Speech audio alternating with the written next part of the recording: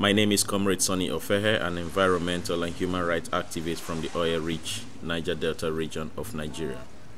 After many years of neglect and environmental disasters resulting from oil operation by the big oil companies, the people took up arms against the Nigerian state and the multinational oil companies in the Niger Delta region. A new militant group called the Movement for the Emancipation of the Niger Delta, popularly referred to as MEND, emerged. As a non-violent campaigner, I felt the need to engage this group and call for a peaceful means to resolving the crisis. In 2009, I was invited by the group to meet the leader, who was referred to as General Boyloaf, in their hideout in the creeks of Bayelsa State. It was sad to see young men in their 20s holding sophisticated weapons in front of me, venting so much anger on their inability to go to school and even get a job. A dangerous trip it was. I went with three Americans and a Dutch cameraman. I sat down with the General Boyloaf to hear from him why the group decided to take up arms against the state. He has this to say. And you know, the Nigerians oppress the people. And if you look into it, the Niger Delta people are the people that feed the nation. But nothing is being paid back to the people. Uh, that is why we call Nigerian government tyrants see. So, like now, if you look into the Niger Delta, the people are suffering in total abject poverty. Nothing to write home about. The host communities, people produces oil. At the end of the day, everything goes back to the politicians and the Nigerian states, the oppressors. So I think it's high time we fight back. So that is why we decided to go on this violence.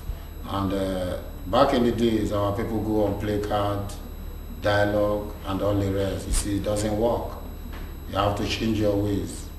I think this is the only way we have to use it tackling the Nigerian state because the Nigerian state understand the trigger play more than the dialogue. The MEND group succeeded in disrupting Nigerian oil production after series of attacks on major oil pipelines and kidnapping of oil expatriate workers the production capacity dropped from 2.3 million barrels per day to just 700,000 barrels per day. And at that stage, Angola became African leading exporter of crude.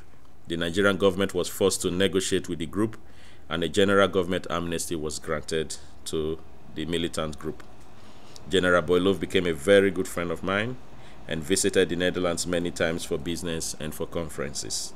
In one of those visits, I met with him at the Schiphol airport in Amsterdam to ask what he thinks of life after militancy. Also to ask if he has any regrets since the situation in the Niger Delta didn't change.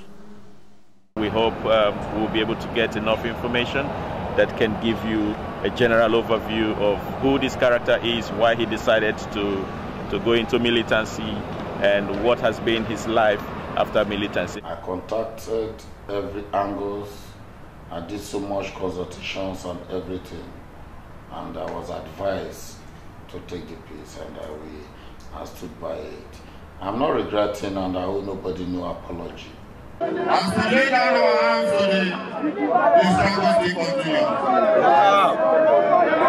But this time, it will be a constructive negotiation and today, I found out that uh, the peace we took, think it was the right step in the right direction. But what I will tell you that peace without justice is negative peace. And for today, I think it's, in, it's on record that we fought for right and it was just a cause, it was a just cause. And we are still watching the government.